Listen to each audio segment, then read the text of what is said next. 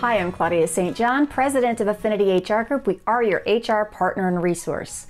Well, here's something we didn't expect. Who would have thought that it was easier to close up shop and all rush home on a moment's notice 14 months ago than it is to bring employees back now that the pandemic is beginning to lighten up a little bit? But that is the case. In fact, we've been talking to a lot of our clients who are struggling getting employees back in the workplace for a variety of reasons. Some of them are still concerned about the health risks. Some folks have uh, childcare issues. Some folks have hesitancy, just a, uh, just a personal preference. Uh, and some folks just really enjoyed working home for a period of time and found that they were productive and would like to do that on a temporary or part time basis going forward. There are a lot of reasons why it's hard to bring folks back. That doesn't mean that it has to be a headache for you. What we encourage you to do, just as we sort of limp through the rest of this pandemic, establish some structure around those unique and varying requests. Develop a form so that employees can express to you in written form why they're asking for some flexibility to continue to work remotely, either full time or on a part time basis. And if possible, get documentation for that reason, if it's an underlying medical health reason, or if is continuing to be closed down, schools continue to be closed. Whatever it is, try to get those, those requests in writing, get the documentation, and also make sure that you capture for how long. Is this just through the end of the school year, another six weeks, or is this through the summer? Uh, is this until uh, further notice? Try to get some sort of time frame that they're requesting and a time frame that you can agree to for that request. Remind them that this is not a right, this is a privilege.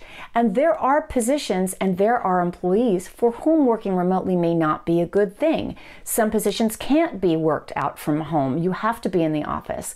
Other employees may not be that strong in their skill sets or in their capabilities or in their performance, and you would rather have them in the office. So you may have two very similarly situated employees one that requests and is granted a, a, a, an opportunity to work from home, and the other that simply can't be.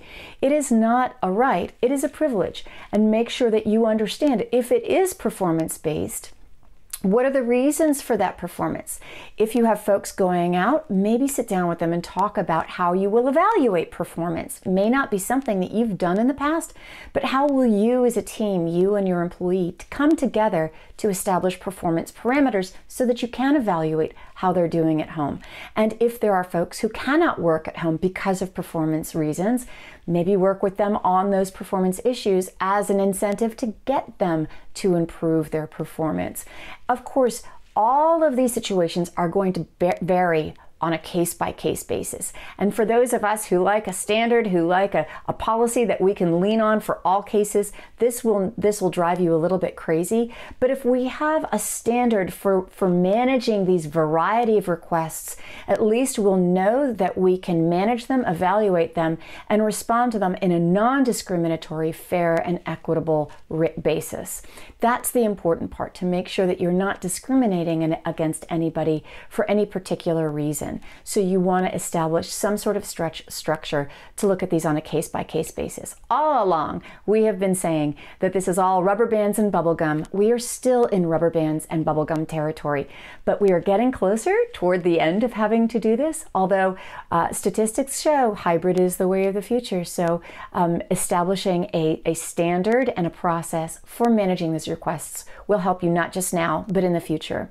For those members of our HR support plan, we will be delivering and developing a leave request form and sample policy for them for free.